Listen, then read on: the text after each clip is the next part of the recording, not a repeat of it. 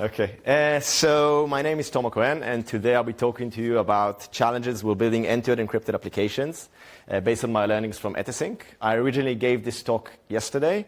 Uh, though unfortunately, due to some issues, I have to do it again today just to record it in an empty room. So no crowd, just me and you. Uh, let's begin. So who am I? Um, I'm a long-time open source dev. Um, I'm a privacy and digital security enthusiast, maintainer and creator of Etesync, which I'll cover in a moment. And I'm currently building a security startup with Entrepreneur First, which is kind of like a startup accelerator that essentially invests in you pre-team, pre-idea, and just gives you a stipend to work on cool stuff that you think are amazing. So check them out if you're interested. Um, so what is Etesync? So Etesync is a secure and end-to-end encrypted and fully versioned um, personal information sync for Android, the desktop, and the web. We currently do contacts and calendar, um, oh, and tasks as well. But we have more things, uh, more things planned. It's obviously completely open source. You can self-host. Uh, like Docker images and whatever. Um, but also, I run a managed service if you want to use that. Um, I mean, unlike unlike Dav, and for example, your your, all of your information is encrypted also in the server, so also at rest. So even if the server is hacked, nothing, nothing leaks. So let's talk a bit about Etesync. So Etesync, the base, the base part of Etesync is an encrypted and tamper-proof journal. So essentially you have uh, the address book or the calendar, for example, and every change in those collections is tracked. So you have, I added a, calendar, I added a contact, I delete the contact, I added a meeting, I modify the meeting, everything is tracked. So think of it like sort of an encrypted and, integrity checked Git.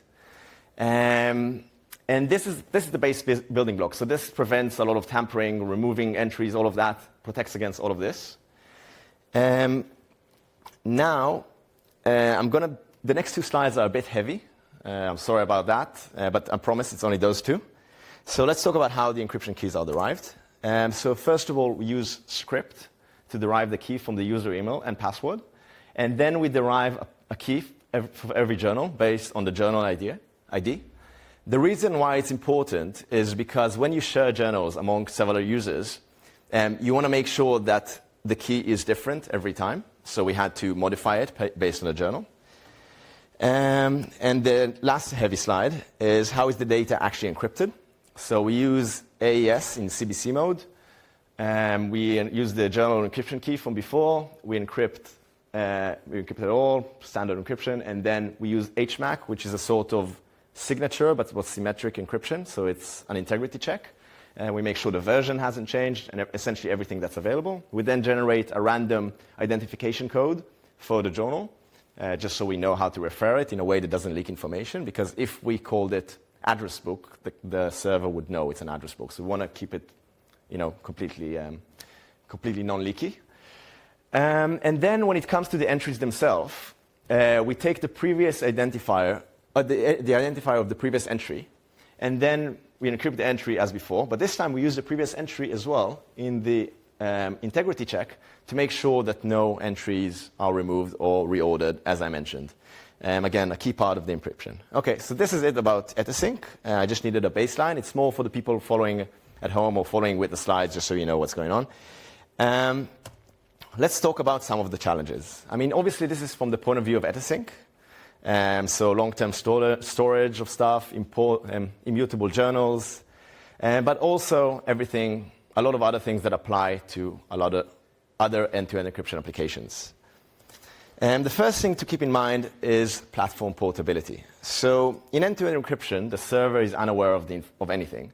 So everything is, has to be implemented on every client. So all the clients need uh, encryption libraries. So for example, if you want to have um, you want to have elliptic curve support, you will need to make sure that every client has support for that. Because first of all, you don't want to implement your own cryptography. It's damn hard, uh, frustrating, but also it could lead to insecurity. And also if you use a hardware token, so for example, a YubiKey like I use, or if your mobile phone uh, has a secure area, secure zone to, to do encryption stuff, um, it's good to know in advance that those are actually supported before you go and unroll and you know, release everything.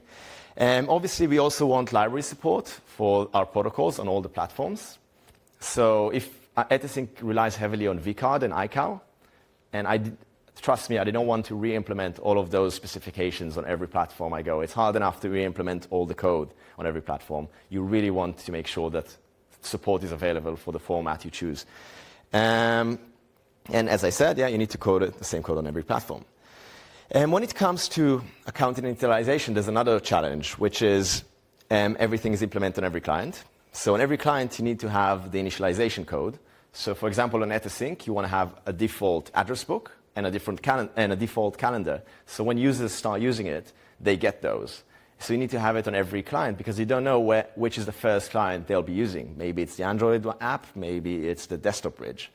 Um, the same goes with upgrade code. Um, so if you want to change something and you want to have code that updates the information accordingly, you need, you need a way to, uh, so you need, you need the code to actually do the updating. Um, yeah. So you need the code to actually do the updating uh, itself. So it's, um, so it's available, the new version is available, and you need it on every client because otherwise it won't be available. Um, and of course, you need to support uh, past and current protocol versions on every client um, because otherwise, um, otherwise some, you know, the new code won't be available on that client and that will just not work. So you need to make sure that all of them, all of them are available when you unleash, uh, release, and all of them are available for the uh, past versions because you can change it. And one solution is to have a sort of a master client, which is in Etesync is the Android client that we assume most people use that. So we have the upgrade code or the init code re- um, was released there before it was released everywhere else. But this is a hack, and it's much better to have it on every client. Um, another thing about protocol upgrade is that every client needs to support the new version. So either you need to update all of them simultaneously, which is a bit hard with F-Droid. Uh, for example, this is a this is a bug report from a user that it took a long time for version 1.0 to be released on F-Droid, I think a month after uh, Google Play. So it's very hard to plan for that. And the other alternative is first deploying support, and after that, deploying the upgrade logic, so essentially a long waiting time. This is good practice anyway, but it's really slow when you're just trying to iterate on a product and providing a lot of value for your users very quickly uh, in the early stages. Another uh, challenge with protocol upgrades is that you cannot transform the data on the server. So usually what you do in applications, you will have API v1, which is what you created in the beginning, and then the old application that access that um, API, and that's fine. And then when you want to add new API, you just add a new entry. The app calls the new one, and the server um, automatically translates in the background the information between API version 1 and 2. So because the server can access the data, they can just do it. We cannot do it in end-to-end encryption applications because the data is just not available to the server. So you have to, you know, you have to be aware of that. This is like normal practice that you just cannot do. Um, you also need, as I mentioned before, need to handle gracefully handle uh, future versions. So if you decide to change the app version at some point, you want the old versions not to crash, but rather you know, pop up a message, hey, this is a version I don't recognize, please upgrade uh, the client or something like that, rather than crashing. So it's just important to remember because we cannot have this compatibility layer.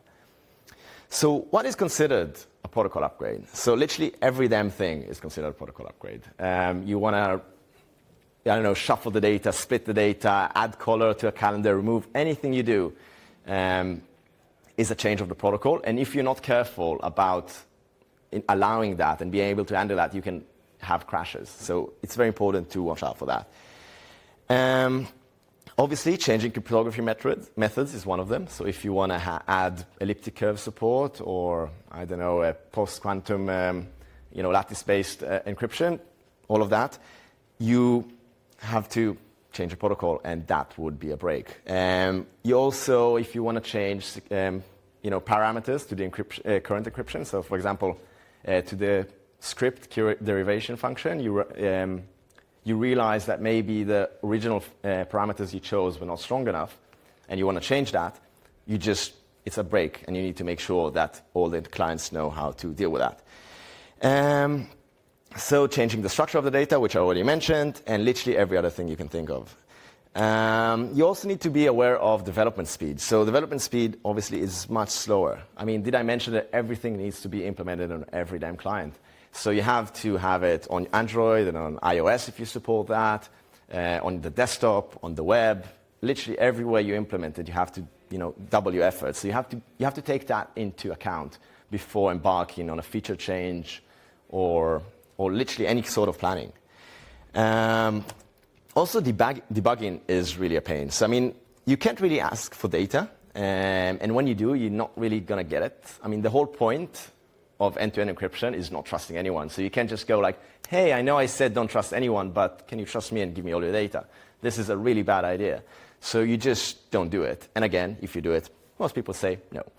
Um, no access to data make it very hard to investigate issues. Um, so usually what you do, you'd say, oh, this breaks. Okay, I'm going to have it. Going to try, play with it a bit, debug, you know, try to figure out what's going on. You just cannot do that. So you're really just being, you know, doing it blindly and, you know, trying to figure out what's going.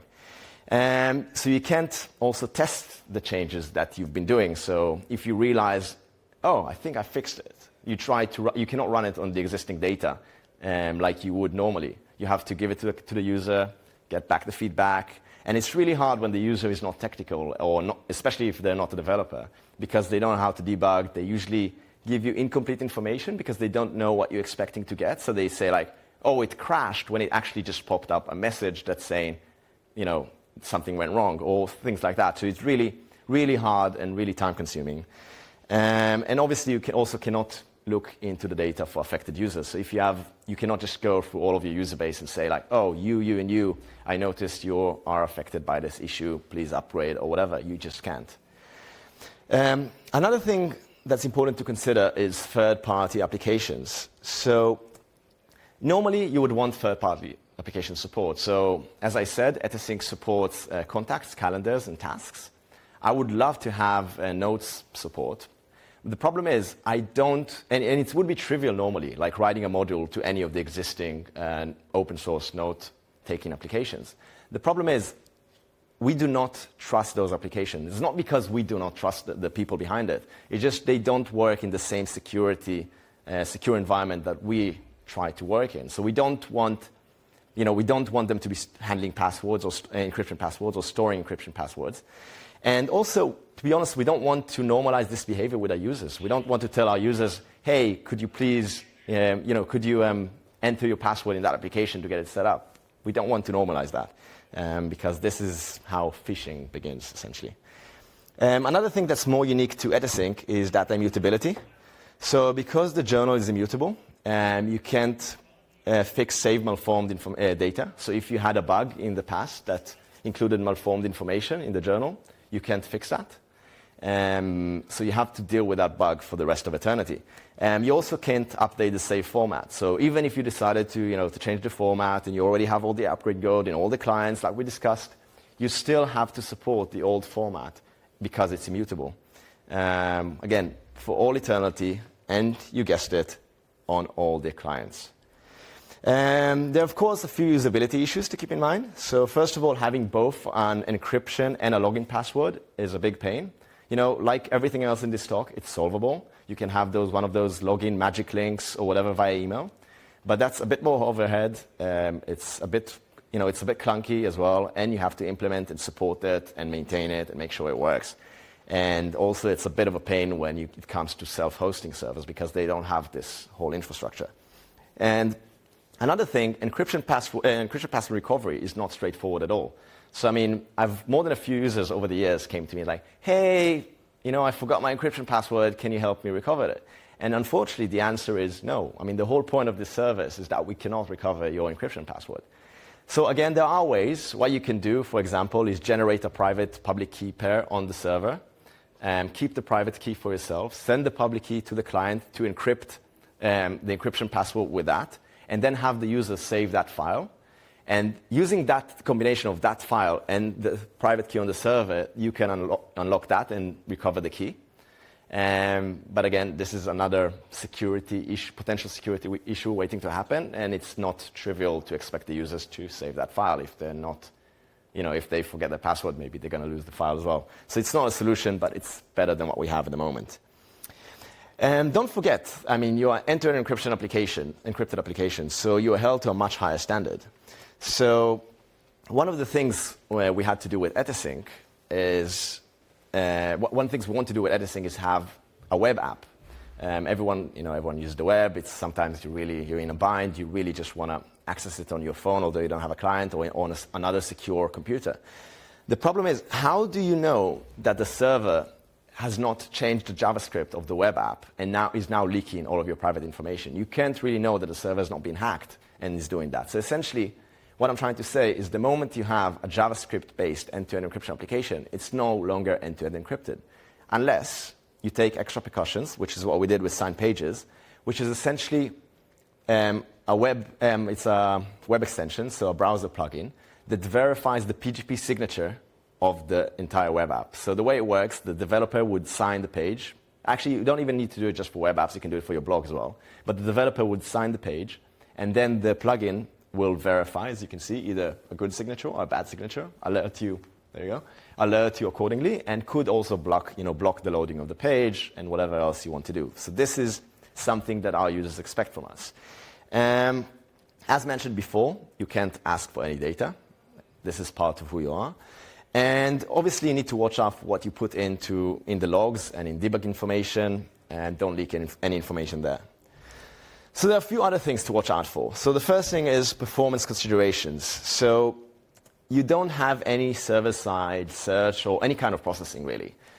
Normally, if you have you know, IMAP client, you would do the search, you type search, and you do search on the server. You can't do it if the server does, cannot access the information. So what you do, uh, you would have to download all of the information in advance, and then either process it, all, like search it all every time, or alternatively, ma maintain a, a, large index, which is a much smaller version, optimized version of the data that is not full, only for the searching, and keep that, uh, keep that maintained so you can search based on that and only download that small part every time you do it. But again, it's something to consider.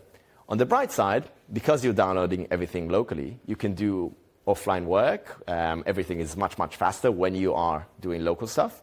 So that's, you know, it's it's a good and a bad thing, but just something to be aware of. Um, you also need to watch out for a false sense of security.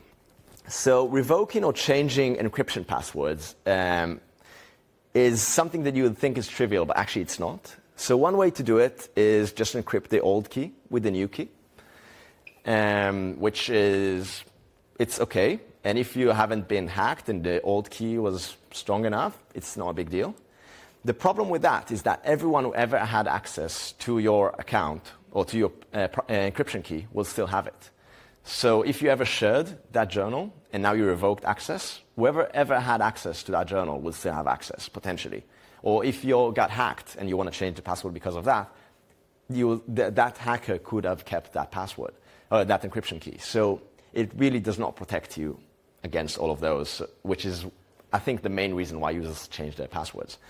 Um, another thing you can do is re-encrypt the whole data, um, but that's a bit problematic. So the problem, there are two things with it. First of all, it could be computationally and bandwidth uh, expensive, just like you know, downloading gigs of data, re-encrypting it, uploading it again. But also the problem is with modifying a lot of data at once is that you lose sort of integrity. Uh, in, in, what I mean is usually, like usually what you want on every, on every change, you want the human to be able to review it and see like, oh, you know, a new contact, that's weird, or why is that event deleted? And if you change a thousand at once or thousands at once, you cannot have this manual review. So actually, you're reducing the security by doing that. So the best solution is using an old key for the past data because you assume that's already compromised, or at the very least could be compromised, um, and a new key for the new data. But that's much more complex. And as I said, you need to implement it on every damn client. So it's a lot of work. Um, so another thing, I mean, actually before that, so it, eh, last time I gave the talk, when I gave it live yesterday, uh, someone asked, uh, what do we use actually in Etesync? So we use the first one, which is the less secure one, but with massive, massive warnings like, hey, if there's any chance you've, you know, if it's a shared journal, of any chance you've been hacked or anything like that of that sort, please contact us and we'll help you figure it out um, because this is insecure. Um, just another thing, so we can obviously offer alternatives. Um, but the question then is how do you educate your users? How, you know, I'm, I'm, I just spent more than a minute here explaining and giving you examples of what the, different, the minute differences, and I'm sure not everyone got it. So it's really hard to explain it to users, especially since users don't usually read documentation. Um, you also need to be aware of replay and downgrade attacks. So this is actually from uh, my talk at FOSDEM last year. So you have to be aware that even though you keep an integrity, you, you, you, keep, you encrypt everything and you keep an integrity checked version of all the data, the server can still serve you an old version. So the old version was authenticated by you and like marked by you and everything is okay and it's all valid and like the signature is valid and everything, but it's still a stale version. So it could be missing information, like here it's missing a calendar event or whatever. So just, you know, watch out for that. Um, again, leaking user data is a struggle. So as we said before, sensitive information in logs and debug info is a big concern. But even more important are those, because they, people don't know about those. So mixing together user-controlled data and non-user controlled data could be very risky. So, for example, the way some of the encryption, uh, I mean, all of them, I guess, work is using padding. Um, so if you have, they work, let's say you encrypt four characters at a time, just to simplify it. And if your input is five characters, it will round it up to eight. So using, if you mix, if you mix uh, user-controlled and attacker-controlled um, information, you could essentially leak the length of the content, uh, which is, again, leaks information, very dangerous, watch out for that. Um, another thing is optimizations. Optimizations can often lead uh, to leaked data. Uh, so, for example, compre data compression could very much lead to leaks. So, the way compression works, uh, some of them, is they detect repeating strings in the text, and then they say like, oh, okay, we have you know space ke space ke. It's actually double. Instead of having it twice, this time we're going to refer to the to the last time. Very good. You know, it saves us. Um, you know, save us, uh, save us some data. And the problem with that is, is that if the attacker can control the information, they can really, they can just like have a brute force attacks and try different strings, and then based on the output and or the length of the output, they know if they got it right or not. So if they would, if for example the attacker would change this to F, it would know that this, you know, so if it was F, it would not have been deduplicated. But now when it's E, we know it actually compresses more, so we, we can extract information this way. Um, another thing is using deduplication. So one thing that's very tempting is saying like, oh, I have this one gigabyte long file and this one as well. I can ask the client to just hash the file. This does not leak any information about the file. Um, and then upload and call the file based on that, on its name. That's how all the big, you know, all the cloud um, providers deduplicate information. The problem with that is that while the hash itself does not leak any information, the fact that the same user, uh, different users use the same, have the same file is already leaking more information that you would like to leak. And as I said, you're held to a higher standard. Um, another example that I very much like uh, comes from video and audio compression. So a common thing with um, video, let's take video for example. So one way to do it, I mean, the naive way to do it is send you a frame every second. So every you know, 24 times a second or however long. So essentially a full, think of a PNG or a picture, a few times a second. And this is grossly inefficient, especially if the image does not change much. I mean, for example, you know, in the last minute, it's been the, this, this whole frame has been almost the same. So there's no reason why to use the bandwidth. So what they came up with is variable bitrate uh, compression. So essentially, it just uh, measures the delta in information. So it only only um, encodes changes rather than the whole thing. So if it doesn't change much, you know, not a lot of information is trans transmitted. But one big flaw with that is that let's assume you have a drone just there outside the window, and I want to know if the drone is spying on me. Or so if I can sniff, just sniff the, the Wi-Fi signal. Let's assume it's Wi-Fi based. All I can see is encrypted communication. That's not a lot. But what I can do is I can open and close the blinds a few times, and then just by the fact that a lot of data is changed at once, if I can see, if I see a spike uh, in the amount of data transferred on Wi-Fi uh, that correlates to my moving the, the blinds, I know that drone is watching me. And the same goes with you know, bugs in the room, like if you see a transmission you don't recognize and you know it spikes every time you speak, maybe you're being watched. So just you know, a few unexpected ways where data can leak. Um, another important aspect is that the UI can make the whole difference. So one thing that I mentioned earlier, you want to inform the users when the data is changed so they can you know, go past it. Like, hey, I did not delete four entries. So just like the user will be able to know that they've been compromised. Um, it's very important. Um, another thing is showing users how many devices uh, they have that are active and how many encryption keys. This is from Conversations, the Android, um, the Android uh, Jabber client, and that's a good example. And there are other potential flaws and safeguards against them that you need to check. So just be aware of those. Um, now I want to touch like, for a few minutes, sorry, uh, on improving the Etesync protocol.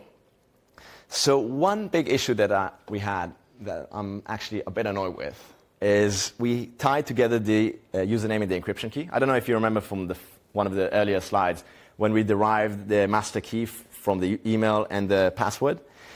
So it was a great hack. It was safe, uh, fast, uh, easy to implement. The problem with that is that users apparently want to change their username, especially when the username is their email. I, had I, I never considered that. Uh, when, when I originally designed the protocol, it makes sense. I really wish, you know, it, I, I want to change it now. So that's one thing that I'm going to improve. Um, and unfortunately, it also made the, the user inconsistently um, case sensitive. So usually emails are not, but in Etesync's case, they kind of are sometimes, which is a big pain uh, when it comes to supporting some users. Um, another thing I want to do is improve the integrity assurances.